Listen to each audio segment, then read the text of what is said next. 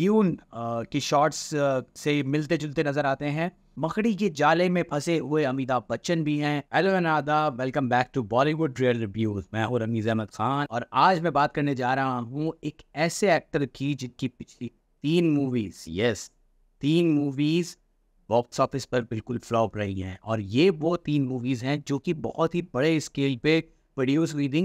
पर खैर उनकी बात हम फिर कभी करेंगे तो आज हम बात कर रहे हैं the Baahubali of Indian movies Prabhas Prabhas की इस नई मूवी के टीज़र का रिव्यू करने से पहले वीडियो को लाइक कर दीजिए और चैनल को सब्सक्राइब कर दीजिए।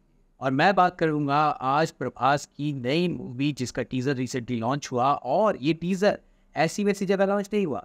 ये एक ऐसी जगह लॉन्च हुआ जहाँ पर मार्वल जैसी मूवीज़ के टीज़र लॉन्च होते हैं प्रोमोज लॉन्च होते हैं। ये लॉन्च हुआ सेंटियागो के कॉमिकॉन में और ये मूवी इंडिया की पहली मूवी बन गई है जिसका टीज़र लॉन्च जो हुआ है, वो सेंटियागो के कॉमिकॉन में हुआ। टीज़र की शुरुआत में ही पता लग जाता है कि ये मूवी एक डिस्टोबियन एरा को दिखा रही है। एक ऐसा वक्त जो कि हमारे आज के वक्त से कई सालों दूर बसा हुआ है। एक ऐसा वक्त जहाँ लोग परेशान हैं, हर तरफ़ अफरा तफरी मची हुई है भूखमरी है मारा मारी है, लोग हर चीज़ को खाने के, एक निवाले को, पानी को तरस रहे हैं, जो कि बहुत हद तक हमारे आने वाले फ्यूचर का कड़वा सच है। टीजर में जितने भी वी एफ़ एक्स शॉट दिखाए गए हैं, वो काफ़ी हद तक बहुत ही बेहतर नज़र आ रहे हैं, ख़ास तौर से अगर हम पर आज की लास्ट मूवी जिसके बारे में हमें बात नहीं करनी चाहिए, अगर हम उससे कंपेयर करें तो आ, इस मूवी में काफ़ी शॉट्स जो हैं वो बहुत ही आ, अच्छे आ, दिख रहे हैं। पर ये मूवी अलग है और वो मूवी कम्प्लीटली अलग थी। डायरेक्टर्स अलग हैं प्रोड्यूसर्स अलग हैं एक्टर वही है लेकिन बाकी टीम अलग है। और इस मूवी का बजट भी जो है वो पूरा 600 करोड़ रुपए। और अगर ये बजट डायरेक्टर प्रोड्यूसर ने सही जगह लगाया है तो I am sure we are going to watch a beautiful and heavy V F X movie so let's just talk about कल की।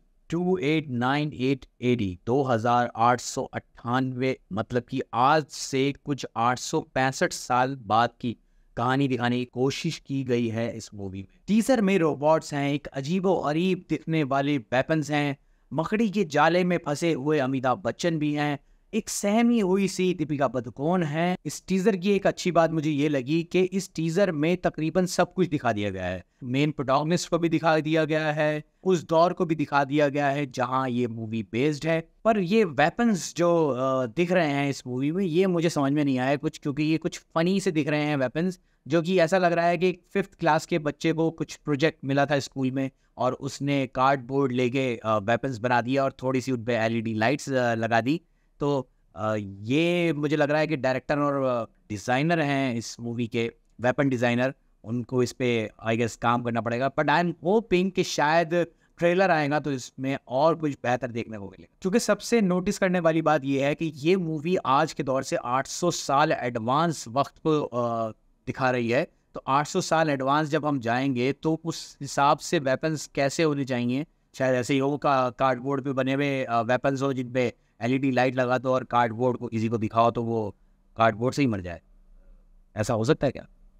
लेट्स सी टीजर में काफ़ी सारे शॉट्स जो हैं, वो हॉलीवुड की मूवी जो कि बहुत ही बड़े बजट पे बनी थी और उसने ऑस्कर भी जीता था ट्यून की शॉट्स से मिलते जुलते नज़र आते हैं और सिर्फ़ ट्यून ही नहीं आयरन मैन की भी झलक नज़र आती है मुझे कुछ शॉट्स में और स्टार वार्स की तो आती है क्योंकि स्टार वार्स भी उसी तरीके की दौर को कहानी को दिखाने वाली मूवी थी। लेकिन मानना पड़ेगा डायरेक्टर नाग अश्विन के विजन को, जिन्होंने इस तरह के कॉन्सेप्ट को चूज़ किया और तकरीबन 600 करोड़ के बजट को लेके ये मूवी वो बना रहे हैं। तो we can expect some really good Hollywood style V F X Hollywood अब मुझे नहीं कहना चाहिए क्योंकि लास्ट ईयर आई मूवी ब्रह्मास्त्र का वी एफ़ एक्स के बाद अब हमें हॉलीवुड तक कंपेयर करने की ज़रूरत नहीं है। अब हम सारी मूवीज़ को ब्रह्मास्त्र और रावण से कंपेयर कर सकते हैं। यस अगर आपने रावण अभी तक नहीं देखी है तो आप रावण ज़रूर देखिएगा, क्योंकि रावण जो कि 2011 में तकरीबन रिलीज़ हुई थी, उसका वीएफएक्स जो है, उस दौर के हिसाब से और आज आज के दौर के हिसाब से बहुत ही एडवांस लेवल का था। तकरीबन डेढ़ सौ करोड़ में शाहरुख खान ने वो मूवी प्रोड्यूस करी थी और उस वक्त उस, वो मूवी नहीं चली कुछ रीजंस की वजह से।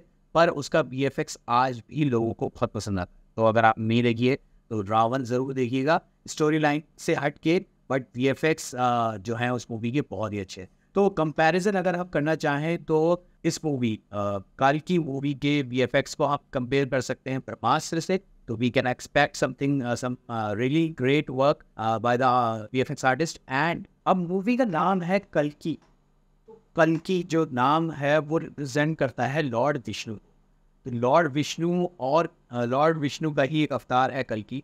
तो उसी से ही इंस्पायर्ड ये करेक्टर लग रहा है, जो कि एक ऐसे वक्त में आता है जहाँ लोग परेशान हाल हैं उपमरी है, बीमारियाँ हैं और स्लेवरी है।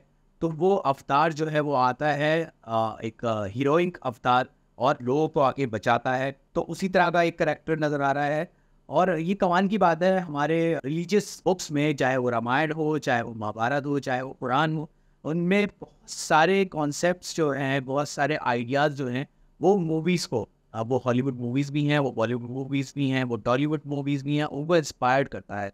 और बहुत सारी मूवीज़ वहाँ से रेफरेंसेस उठा के अपनी कहानी में आ, उनको यूज़ करती और हमें वैसे तो ट्रेलर में नज़र आए हैं प्रभास दीपिका बदकोन और अमिताभ बच्चन ये तीन बड़े नाम लेकिन आपको जान के ताजुब होगा कि इस मूवी में इससे भी बड़े नाम तो नहीं कहूँगा, पर इसी लेवल के और भी नाम हैं, जैसे कि कमल हसन राना डब्बूबाती, दलकीर सलमान और दिशा पटान और इतने बड़े, इतने सारे बड़े बड़े कलाकार के साथ डायरेक्टर ये मूवी लेके आ रहे हैं तो we can not just expect good V F X but great acting as well movie का बैकग्राउंड स्कोर भी काफ़ी अच्छा सुनाई दे रहा है और होना भी चाहिए, क्योंकि इस तरह की मूवी जो कि एक साइफाई मूवी होती है और तकरीबन पाँच सौ छः सौ या आठ सौ साल बाद के वक्त को दिखाती है तो उसमें बैकग्राउंड स्कोर का काफ़ी अहमियत होती है, क्योंकि वो बैकग्राउंड म्यूज़िक उस वक्त को दिखाने में काफ़ी हेल्प करता है डायरेक्टर को, कि जहाँ जिन सीन में डायलॉग्स नहीं हैं, जिन सीन जो सीन्स थोड़े एम्प्टी हैं, वहाँ बैकग्राउंड म्यूज़िक से बहुत ही इम्पैक्ट दिखाया जा सकता है उस वक्त को दिखाने के लिए। तो आई एम एक्सपेक्टिंग कि इस मूवी का म्यूज़िक जो है और बैकग्राउंड स्कोर जो है वो बहुत ही अच्छा होने वाला है। तो खैर, थोड़े बहुत फ्लॉज तो हर किसी मूवी में होते हैं ट्रेलर में भी होते हैं टीजर्स में भी होते हैं, इसमें भी हैं, लेकिन अगर हम इन फ्लॉज को हटा दें तो ये जो टीजर है वो मुझे बहुत ही पर्सनली पसंद आया, क्योंकि इसमें कुछ नया करने की कोशिश करी जा रही है। डायरेक्टर के ज़रिए। और साउथ इंडियन मूवीज़ हमेशा से कुछ ना कुछ नया लेके आती चाहे वो बाहुबली क्यों ना हो, चाहे वो कमल हसन की विक्रम क्यों ना हो। आई एम श्योर अगर आपने विक्रम देखी होगी तो आप ये मेरी बात से एग्री करेंगे। विक्रम ने भी बहुत ही गजब का काम किया। तीन सौ, साढ़े तीन सौ करोड़ रुपए उसे कमा लिए। नहीं देखी है विक्रम तो विक्रम ज़रूर देखिएगा।